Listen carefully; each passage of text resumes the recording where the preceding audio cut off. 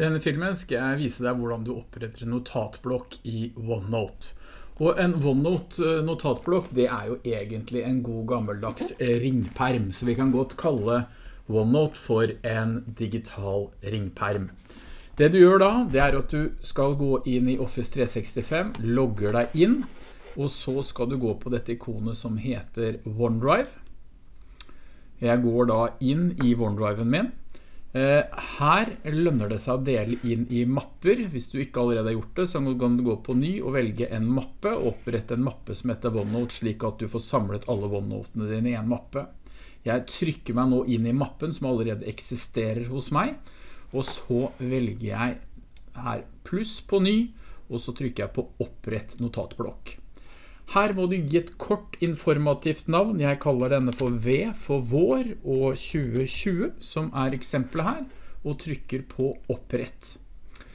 Nå er det sånn at eh, denne notatblokka opprettes i skytjenesten OneDrive hos Microsoft.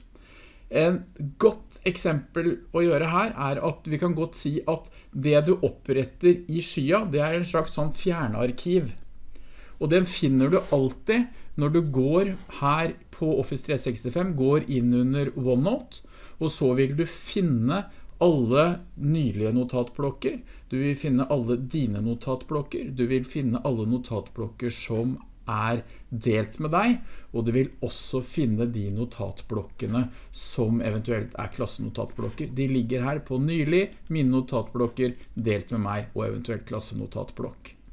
Men tilbake til den vi akkurat opprettet. Jeg liker kun å samskrive i skyversjonen, ellers vil jeg alltid bruke skrivebordsversjonen. Og da trykker jeg på åpne på skrivebord.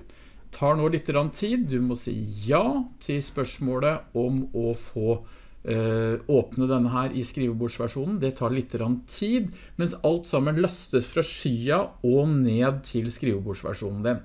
Husk på, hvis du går til en ny PC, så bør du også gjøre en tilsvarende operasjon på den.